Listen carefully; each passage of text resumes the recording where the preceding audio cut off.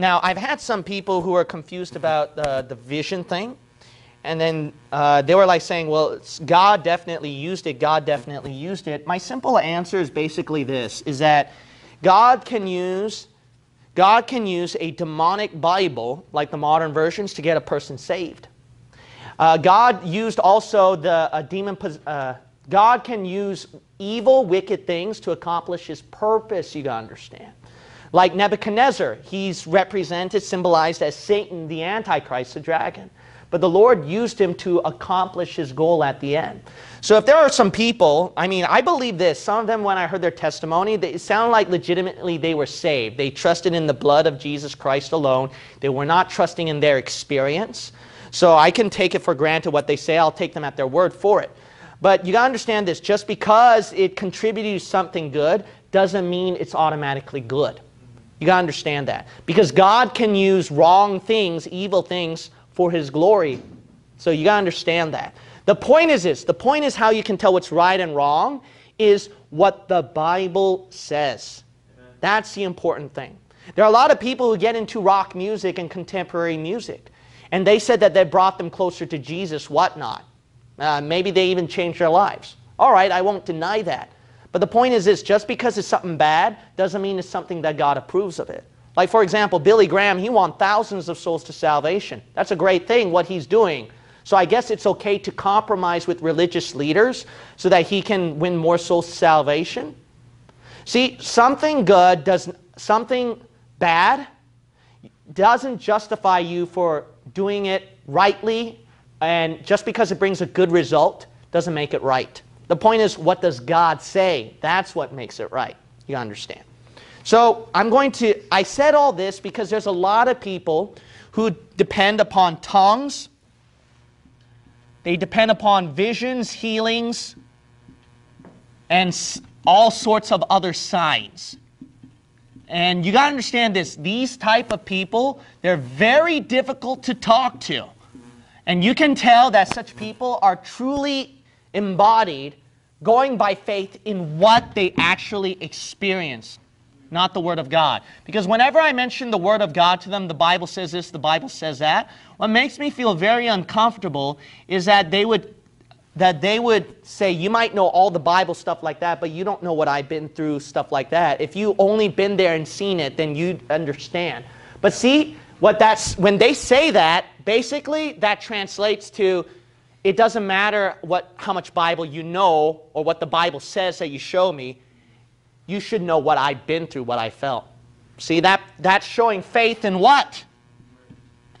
It's showing faith in their experience rather than the Word of God. That's scary. So I said all this to stress that fact because I want people online to understand this. So, how do we know that this is not available today? Well, we know this. One, if you look up every time that the Bible mentions the word tongue, it's referring to a different language. Just look up the word tongue in every verse in the Bible, okay? That's one case. Number two, look at the first mention of sign. Look at the first mention of sign. It was mentioned to the Jews. God originally started it for the Jewish people. Exodus chapter 3 and Exodus chapter 4. Not only that, 1 Corinthians 1.22 says Jews require a sign. Not only that, John chapter 2 I believe it's John chapter 2. Jesus said that unless you Jews see a sign, you will not believe. See? Not only that, the Bible shows that the signs, they belong to the apostles. The Bible specifically says signs of an apostle. Mark 16, they all use that passage. But you'll notice that the context, who is he speaking to? The 11 disciples. But it says the signs will follow them that believe. Yeah, apostles who believed in it. Because in the verse, by context, it said that the 11 apostles had problem with believing. So Jesus Christ urged them the importance of believing so that they can have the signs. 2 Corinthians 12 12 also said the signs of an apostle were wrought among you. But not only that, if, if Christians truly participated in the signs and wonders, if they truly participated in it, why would they go to the apostles for healing? See, they couldn't do it themselves. Another case right here is because if you look at the book uh, of 1 Timothy, the Bible shows that the healing signs were fading away.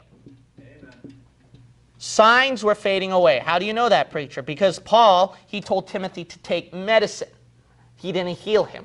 Not only that, uh, the Bible shows in the book of Philippians, Paul was worried about this person in the church being sick unto death. Why would he be worried if he had the healing power? Another thing is that he also mentioned at the book of 1 Timothy, chapter 5, he mentioned that he left uh, Trophimus at Miletum sick so he couldn't heal him. But the most convi- uh, another convincing one is that Paul could Paul, who had all the signs and power, couldn't heal himself. Why is that? Because the healing signs faded away. They're gone. There's no doubt about that if you read the later books of the apostle. What's extremely evident is you got more than 1,000 years of church history. They weren't doing signs. Where, where were the signs during that time? See? So there's no doubt healing signs faded. Another case in point right here is that the Bible says uh, that we walk by faith, not by what? All right, that is important.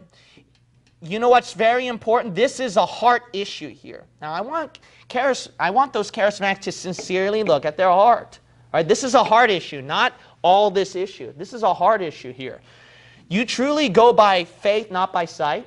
Is that really the case? Because when, you dis- uh, when I talk to some people, they go so much by what they see. Oh, if you were only there, what, so that I saw it happen? Oh, if you, uh, because I saw Jesus, and you can't tell me that, I mean, what was that? Is that a, by what you see right here? See, it's all by sight. Whenever I hear healing, healing, uh, speaking in tongue, vision, vision, etc., etc., this is all sight here. We walk by faith, not by sight. Faith cometh by hearing, and hearing by the what? Romans 10 17. Thus, this shows me right here, you go more by sight that conflicts with the Word of God. That's something, it's troubling. It's, what's especially troubling is whenever I would mention verses and stuff like that, they would be in denial based on what verse? What's your scriptural evidence? There is no scriptural evidence they would argue against that. So that should be scary. That should be scary. So this is definitely a hard issue right here. Well, you, well I, it doesn't make sense why Satan would do it in that manner, in that way. Why would vision, healing, and speaking in tongues be wrong if it gets me saved? Why would Satan want me to get saved? There are some people I talk to about that. There are some people when they desperately pray to God and then somebody laid the hands to heal and then they got healed, you can't tell me that's of Satan because I was praying to God about it. See, all this kind of stuff, they're, what they're doing is they're, they're trying to find spiritual excuses so that they can justify the signs. Yeah. But you got to realize is anybody nowadays can find spiritual excuses, yeah. spiritual reasons for bad things that they do, for wrong things. Yeah. Just because there are spiritual excuses doesn't make it right, remember. Remember, Satan, he's the greatest deceiver. He mingles the things of God, spiritual things of God, with something wrong. So that's important to understand right here. Well, why would I get saved then? That doesn't make sense to me. Simple. God can use wrong things to, for his glory. But Satan, he has a different purpose in mind. He wants you to feel the way that you still are right now so that you won't be having the faith grounded in the Word of God, but more by what you see. And when you go by what you see, there's going to come a day when the healing won't happen, that the vision won't happen, and then you're going to think that God let you down. And then I've seen a lot of Christians become atheists because they didn't see miracles happening. That's Right, wow. See, this is important to understand. Satan's not, not a dummy. He's thinking 100 steps ahead, 10 years ahead. So this is very important to understand. So case in point right here. So we see right here throughout all these points that there is no doubt that all of this shows that tongues, healings, and visions, they're no longer available. So they're definitely gone. We go by the Word of God, that's our practice. Now, I told you to turn to a specific passage, but I guess I won't be covering that. I'll do that in a separate video. But uh, I laid all this out. I think this is good what I did because I'm giving a full summary right here where I hope, where I hope that it'll become more persuasive to the person to understand what they're basing their faith on. This Korean churches, you got to understand, is very infested, infested with this doctrine. Now, Korean churches is is more heinous. You might say, What's the harm of all this, right? I'll tell you what the simple harm of all this is. The simple harm of all this is that it damned the nation of Korea. Now, I can say this because I wrote a doctorate paper on this. Some of you might not know this. But the reason why Protestant Christianity is all over Korea, the simple answer to that is because during those days, right after the Korean War, they were in need and in poverty and broken. So at that time, they needed something. What would entice them more than prosperity gospel and promises of healing? That's right.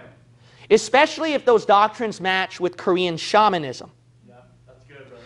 There's no doubt, Yonggi Cho, world's largest pastor, even his pastors could not deny the fact they confessed that uh, the practices and that they have in their church, there's no doubt it relates to shamanism. That's why they had those prayer mountains, the Korean churches. Korean churches, they have it a little differently from American charismatic churches. American charismatic churches, they might not see something wrong with that, but Korean charismatic churches, you can see a lot.